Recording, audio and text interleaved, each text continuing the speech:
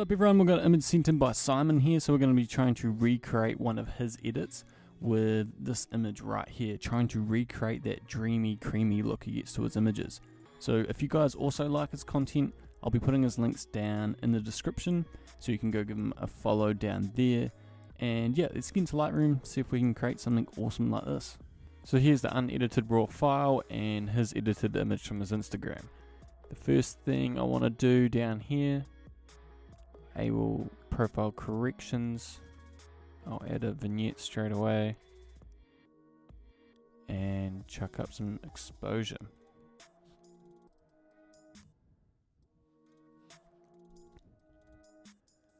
Drop some highlights.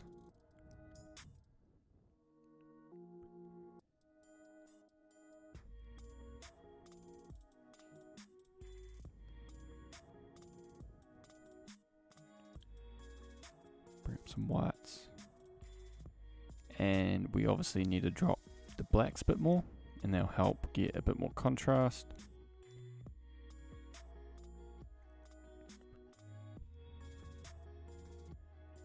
And it's quite easy to see that in some areas we're too bright and some areas we're too dark. So we're obviously going to need to use filters to bring out some areas of this from the image. So such as up here, there's a bit of an emphasis, and down here where the subject is. And this image has really great composition. So we've got lots of leading lines coming down to our subject. So we're going to have to do some brushing and filters to bring out and accentuate some of this. So it's kind of hard to know exactly what to do with these when we have so many filters and brushes going on top of our image. So I'm going to add in quite a bit of contrast with the tone curves and then add a fade in with this one here.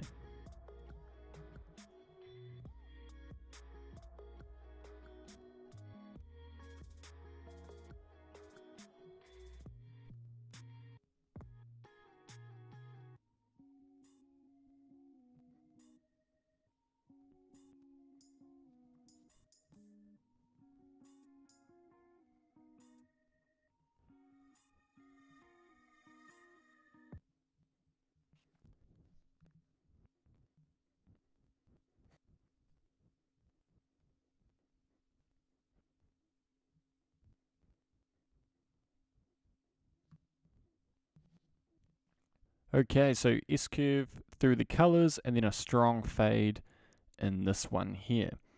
And as you can see, it's a bit dark up the top here. So if you look over here, you can see it's much brighter through here and all up here. So I want to bring out the top half of the image with a nice big filter.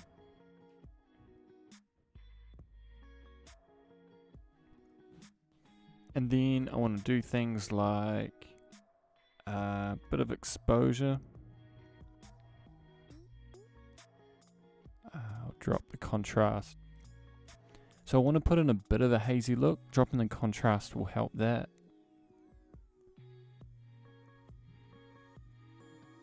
Highlights I'm going to bring down.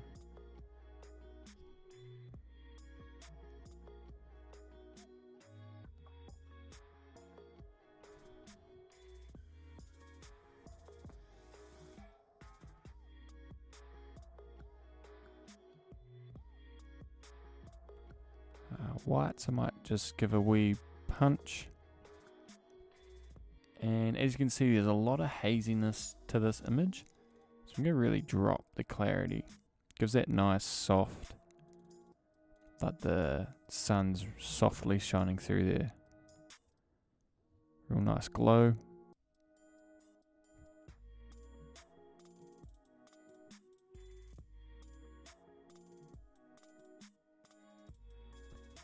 And I'm going to touch it up with a bit of warmth. And I think that's looking pretty good for that.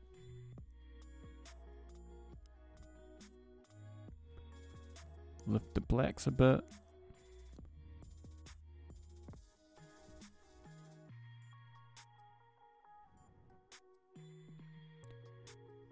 And that looks good.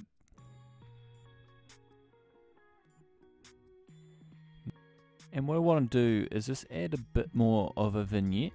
So you can see it's a bit darker down the bottom here, along the edges and up in the corners.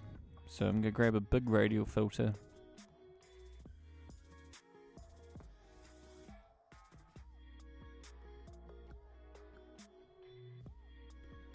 And I want to affect the outside of the circle. So turn down, turn, tick the inverted box, bring down the feathering to about 50. Going to drop the shadows.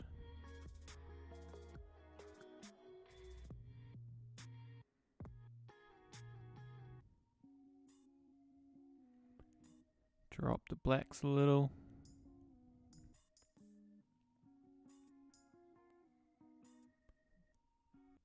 I might just keep a touch of clarity still in there.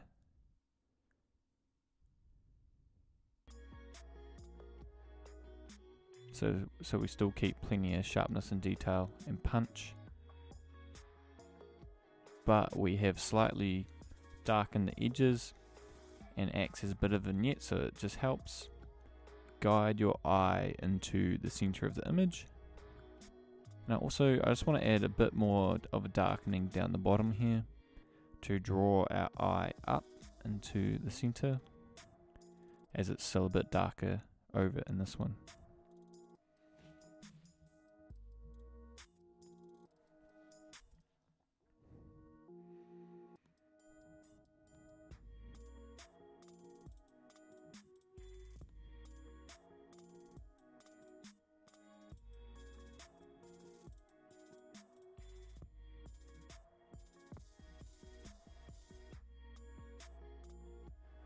I'm going to drop the shadows.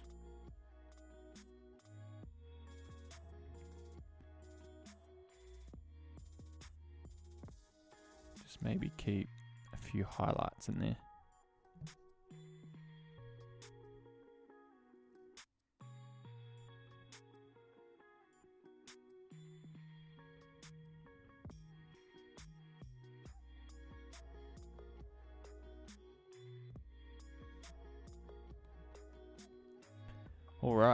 So moving on, I want to do a little bit of split toning. So we've got quite a warm look. So I'm going to add warmth into the highlights.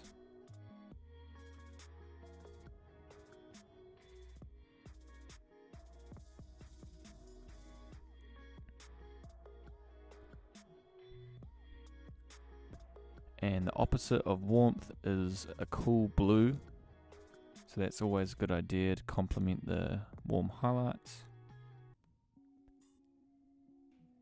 And since we're that's pretty much what you're doing with warm tones in the highlights and cool tones in the shadows, is you're sort of replicating uh, a sunset color. And I think what helps with that is to increase the amount of highlights moving into the shadows. So that's highlights to the entire image. That's blues to the entire image. And I want to give a favor to those highlights. And I think that looks much better.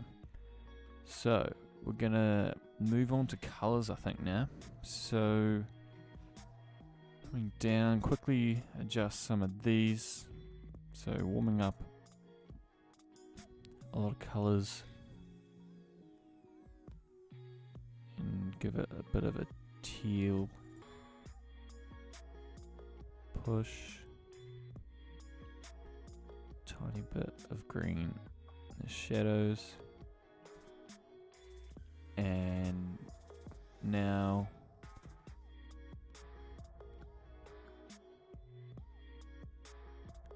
now I just want to go through and correct all of these get them as close as I can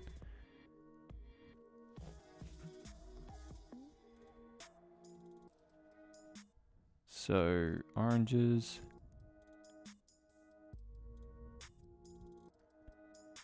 Not looking too bad.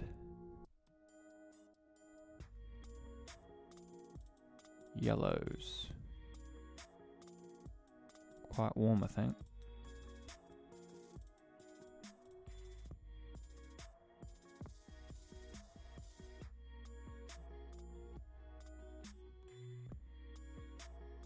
So in the greens, we have a lot of greens, but we also have a lot of yellows. If we shift our greens this way, we sort of lose all the greens. So I think moving the these greens this way, we keep a lot of natural looking green colours. And then keeping the yellows towards the oranges, you get a lot of those oranges in there. But you still keep a good amount of natural looking greens. Hopefully that made sense. Uh, aquas.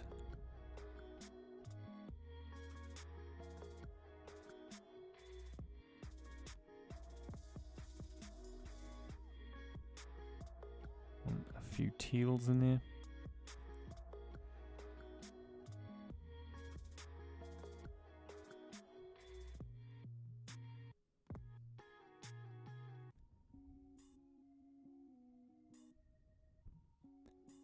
We're going to have to bring some of these down quite a bit. Yellows. Oranges down a bit.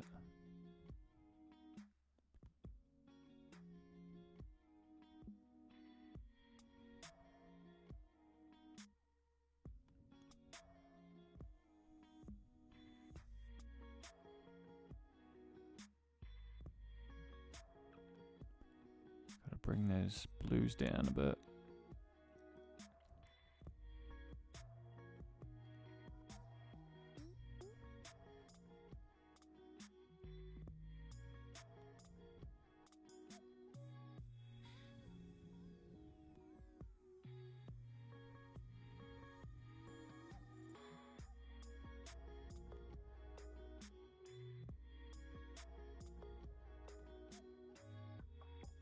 The luminance all looks pretty good.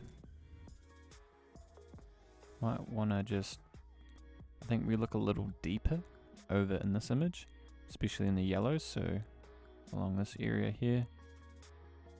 I'll just bring them down a bit.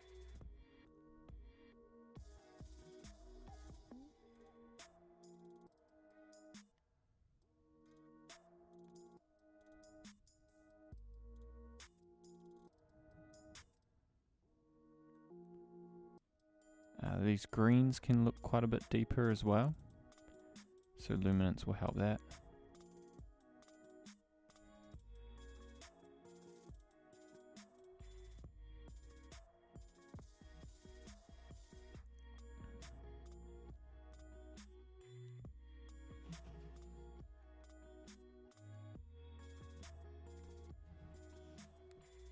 Uh, not too much going on in the blues.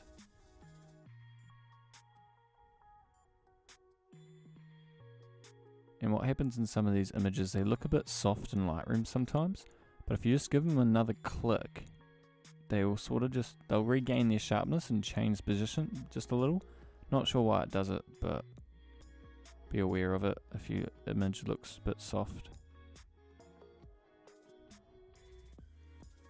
So I think that looks a little better.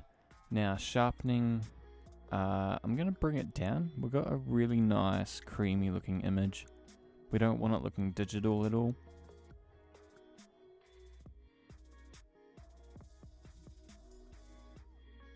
And uh, maybe a tiny bit of grain. And we're looking pretty good. Yeah, um, a bit more creaminess to the image. So real key to that is dropping the clarity a little.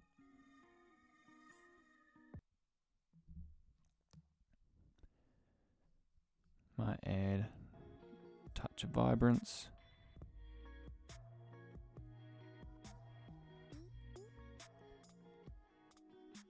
Take down the saturation. And one other thing that you've probably noticed, it's kind of obvious, is that in our image, our water is not blue.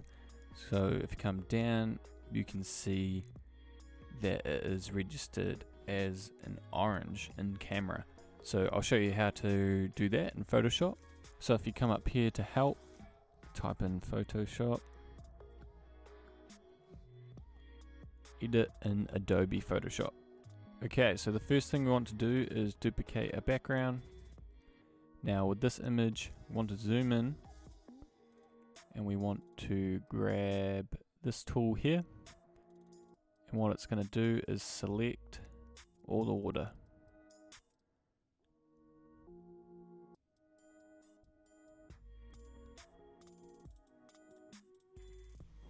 And then if you hold Alt, you can brush away the areas you don't want selected.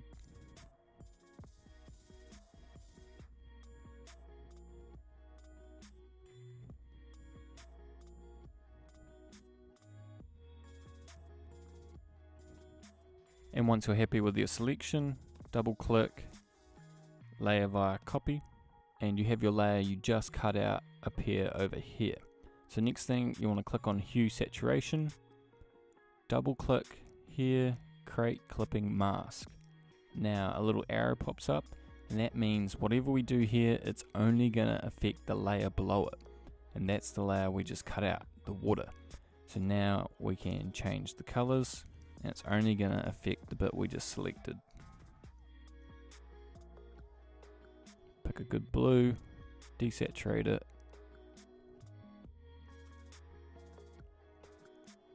Now, say we didn't quite select it properly, we want we want a bit more of this bit removed. It looks a bit more natural.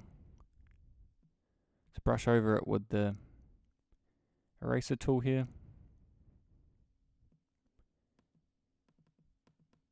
And you can make it blend in much better. Then once you're happy with that, you're done. You can save this, you can go up to here, file, save, and that's going to go straight into Lightroom. So when we go back to Lightroom, it'll be right there.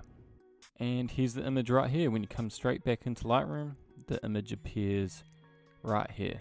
So yeah, that's about it guys. I'm pretty happy with that one. If you guys like this one, make sure you leave a comment down below and comment down below who you guys want to see. That way I can reach out to them on Instagram, ask them to send in a photo and do a tutorial on them. And yeah, if you're liking these tutorials, like the presets, and yeah, make sure you go give him a follow down in the description. And I'll be catching you guys in the next one.